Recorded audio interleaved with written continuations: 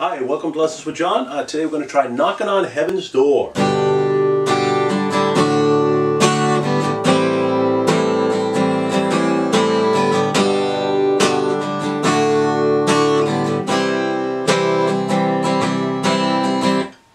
That's it, and it just keeps repeating.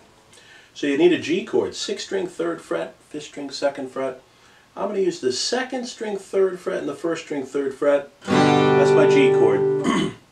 Alright? My next chord's a D chord, third string, second fret, first string, second fret, second string, third fret. I'm going to mute that sixth string my phone.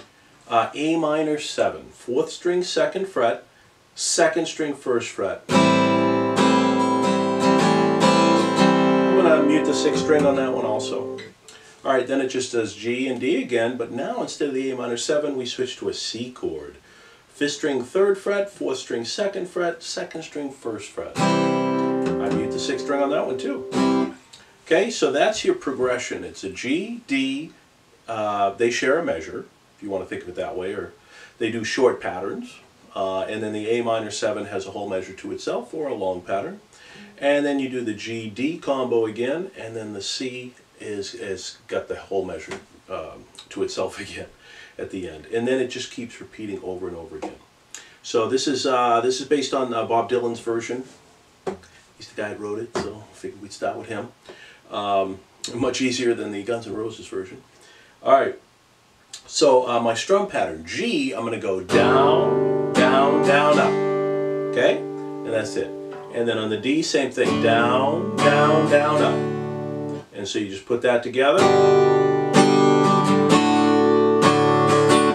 Okay? Now the long pattern on A minor 7 is going to be, it's going to start off the same. So the first four moves are the same. Down, down, down, up, up, down, down, down, up. So all you're doing, if I do it slowly, is down, down, down, up. The next one's got to be an up.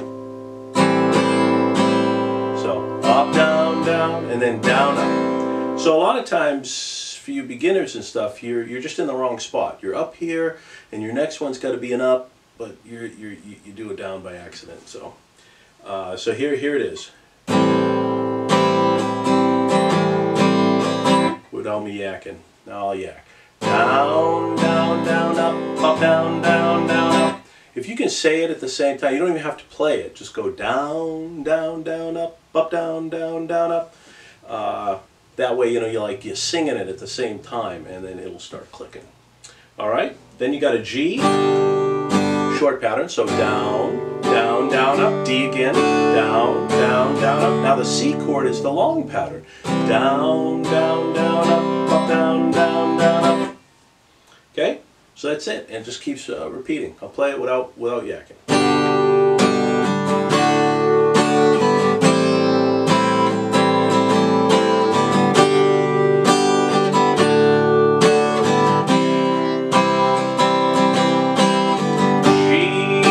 D, A minor 7.